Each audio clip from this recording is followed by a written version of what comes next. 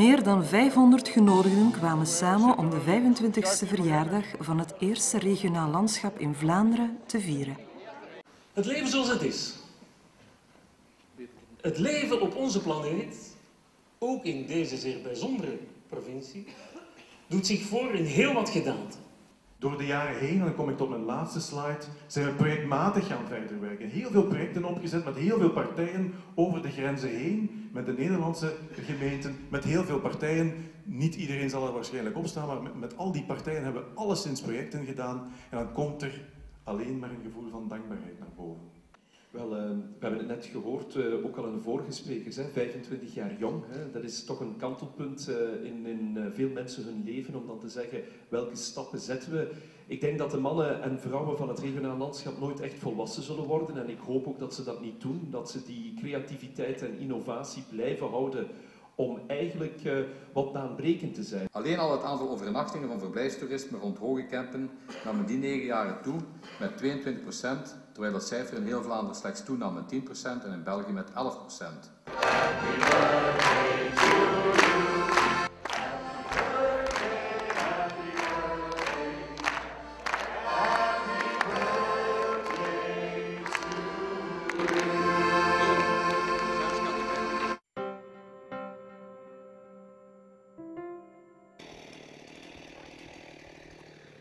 Uh, het bos- en landschapsbeheerplan van het kasteelpark van uh, Villei 14 is goedgekeurd.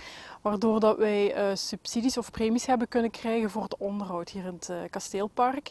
En daar zijn we dan aan begonnen vorig jaar al in de, in de winter. Toen hebben we een aantal bomen bijgeplant om de bomencollectie van de bijzondere bomen te kunnen aanvullen. En nu zijn we bezig met wat achterstallig onderhoud. Zo zijn we opslag van essen, en uh, wilgen hier heel veel en vlier, die zijn we aan het weghalen. En we zijn ook uh, de graslanden rond de parking en in de onmiddellijke omgeving van het kasteel, die zijn we aan het maaien samen met wat ruigte die hier aan het opkomen was. Uh, en we hopen dat door deze werken, dat de onmiddellijke omgeving van het kasteel, dat dat weer terug de allure krijgt van een mooi kasteelpark.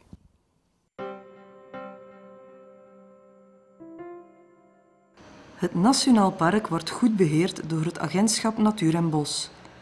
Met het Europees project Beeldschone Parkrand hielpen we de gemeente te investeren in het vergroenen van parkjes, pleintjes en parkings. Dit gebeurde onder andere in Maasmechelen, Zwartberg of Wiemesmeer.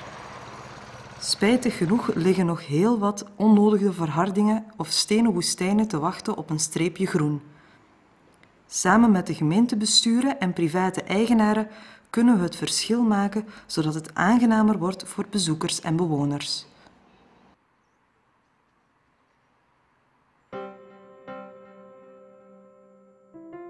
Straks gaan wij samen 3,2 kilometer wandelen. Niet te ver, korte wandeling, waarbij we van alles en nog wat aandoen, een beetje mixed. Dit wandelgebied biedt u wel meer. Ik wil ook de gemeente Dilse Stokken, of bestuur, het stadsbestuur, moet oppassen wat ik zeg. Hè. De stad, de stad Stokken bedanken voor de samenwerking, de aangename samenwerking in dit project, maar ook een aantal andere projecten in de Maasvallei.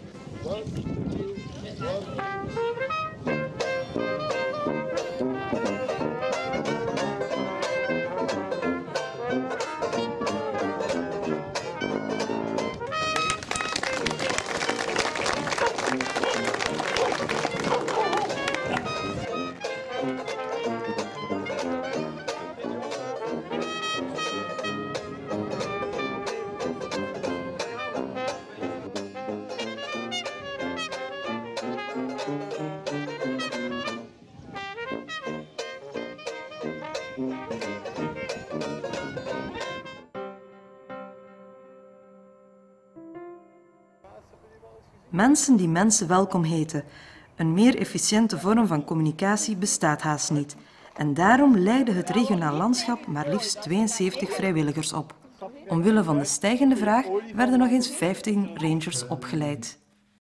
For the benefit and enjoyment of the people. Dat was en dat is nog altijd de doelstelling van een nationaal park. Voor het goed en het welzijn van alle mensen. Omdat we ervan overtuigd zijn dat een nationaal park hout kan voortbrengen, plaatsen kan voortbrengen waar het goed is. Voor wie het nog niet door mocht hebben, de licentie is voor één jaar. Dus uh, ergens februari, maart wordt die hernieuwd. wordt permanent geëvalueerd, je moet navormingen volgen, dat weet u allemaal. Dus dat is niet uh, levenslang. Na een jaar kunt je weer opnieuw bedenken. We vertellen het verhaal van het regionaal landschap in de hele wereld. En alsmaar vaker komt ook die wereld naar ons.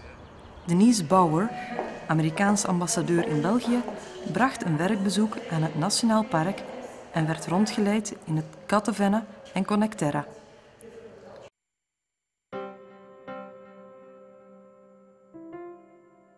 De plaatsing van een locomotief op de stationszitten van As, een van de poorten van het Nationaal Park, past in een ruimer plan om het hele kolenspoor dat de Limburgse steenkoolmijnen met elkaar verbindt, de erkenning als UNESCO Werelderfgoed te versterken. De komende jaren volgen nog meer investeringen om deze plek met de nieuwe fietsbrug over de N75 te laten uitgroeien als de fietspoort van het Nationaal Park.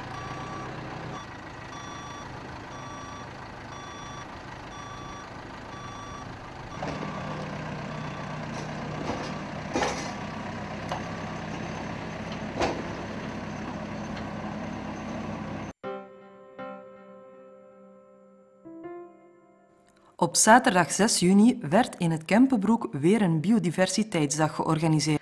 Dit keer werd het noordelijke gedeelte van Kempenbroek aangepakt. Een twintigtal vrijwilligers legden zich toe op het Weerterbos en het pas aangelegde ecoduct over de A2 en de spoorweg. Te geven om toch de resultaten te halen.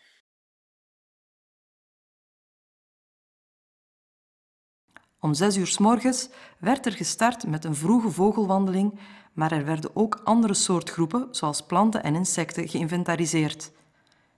De meest zeldzame waarnemingen van de dag waren de grauwe klauwier en de tengere grasjuffer.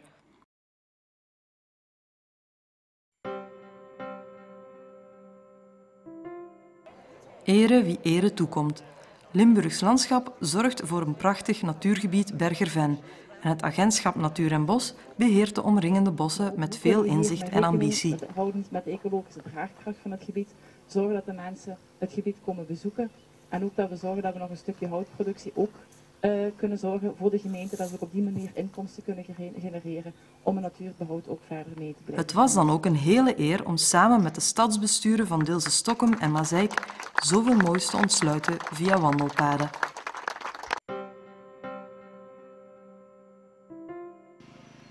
Dankzij de inzet van 20 arbeiders uit de sociale economie en dat jaar rond kunnen we een bijdrage leveren aan die kwaliteit en een unieke landschapsbeleving garanderen. Hun inspanningen zijn zeer divers, van het opruimen van zwerfvuil en sluiksoorten tot het planten en snoeien van hagen en bomen of het aanleggen van vlonderpaden in natte gebieden. Veel aandacht gaat naar zitbanken en rustbanken binnen de typische huisstijl van Grenspark Kempenbroek Rivierpark Maasvallei of het Nationaal Park Hoge Kempen.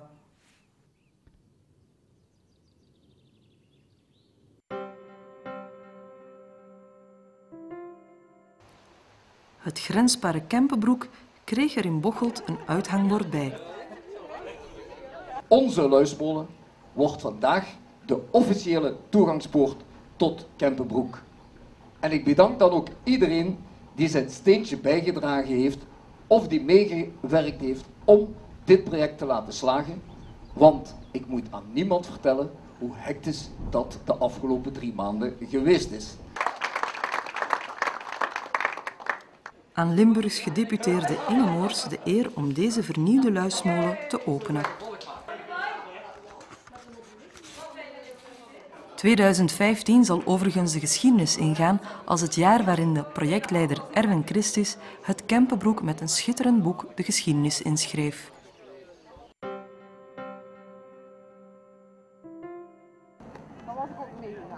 Springen in rivieren in heel Europa om aandacht te vragen voor levende rivieren met zuiver water. Dat is de Big Jump. Al enkele jaren een vaste traditie in het rivierpark Maasvallei. Voor de tweede keer werd gesprongen vanaf de Nederlandse oever in Roosteren, ter hoogte van de Maasbrug nabij Mazeik.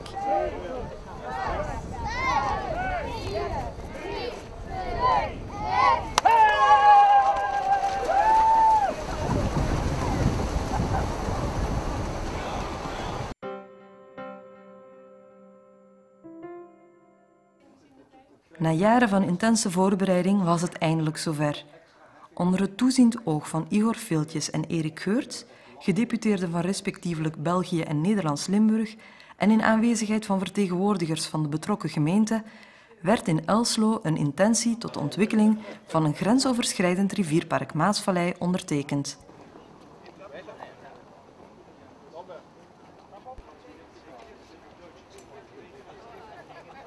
De onthulling van het eerste Maasbaken op Nederlands grondgebied bezegelde deze belangrijke stap. Ik, uh, we hebben net een intentieovereenkomst getekend. Die gaan we ook uitvoeren. Nog een primeur voor 2015. De eerste editie van de Maastrek. Een grensoverschrijdende wandeltocht door het rivierpark Maasvallei. Dit wandelevenement lokte meer dan 2500 wandelaars naar de Maasvallei. Veerponten brachten wandelaars van het ene land naar het andere en bewezen nog maar eens hun grote meerwaarde. Alvast een goede start van wat hopelijk een traditie wordt.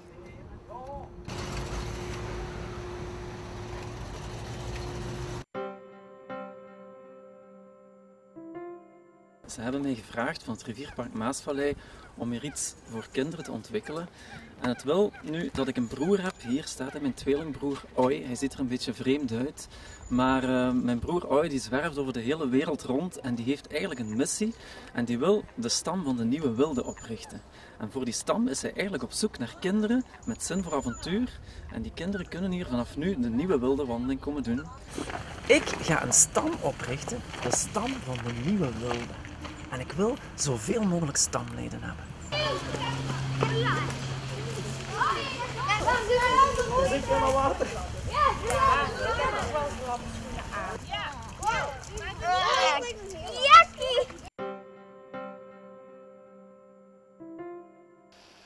Het jaar werd al even feestelijk afgesloten als het was begonnen.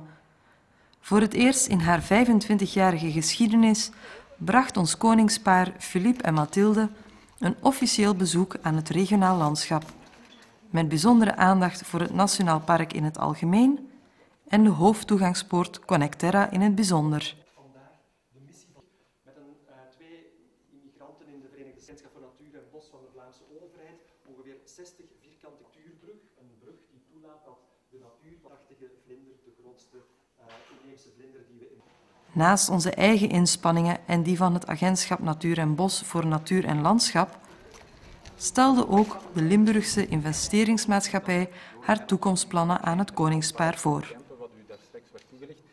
Veel aandacht ging naar de ecotrons van de universiteit en het natuurwetenschappelijk onderzoek in onze regio.